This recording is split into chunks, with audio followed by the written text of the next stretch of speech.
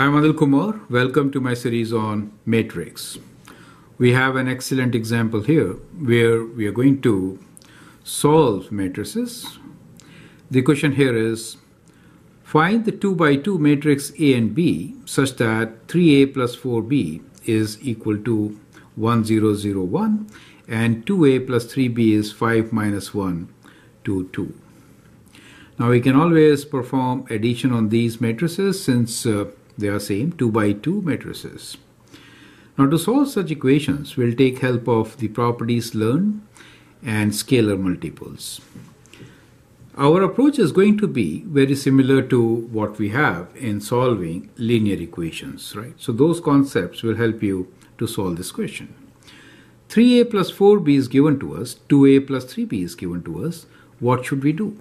Well, the first step should be that we should uh, ensure that any one of their corresponding coefficients become similar so that we could add and subtract and eliminate.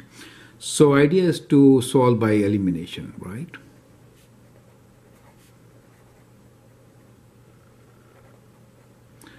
Now for doing that, what am I going to do? I'm going to multiply the, the first set of the information right here by 2, right? And the other set by 3. So when I do that, I get 6a, correct? And then we will take away and find the solution. So what we get here is times 2, we get 6a plus 8b equals 2 scalar multiple. Each and every element inside is now going to get multiplied by 2. So we get 2, 0, 0, 2, correct? And for the other matrix, what we get here is times 3. We get 6a plus 9b equals to times 3 means 15 minus 3, 6 and 6. So we get our other two equations. Let's call these equations as equations 2 and 3, right? So those are 1 and 2 equations. These we'll call as 3 and 4. Okay. Now what we can do here is we will do 4 minus 3. Equation number 4 minus equation number 3. So 6a, 6a will cancel out. 9b minus 8b will result into b equals to what? 15 minus 2, which is 13, minus 3 minus 0 is minus 3, 6 minus 0 is 6, 6 minus 2 is 4. So we get one of our matrix B, which is 2 by 2 matrix as expected, and that's what it is. Now, we need to find what matrix A is. So we could use one of our equations and then solve for it.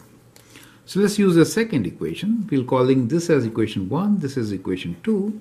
So using our second equation, we can find the value of A.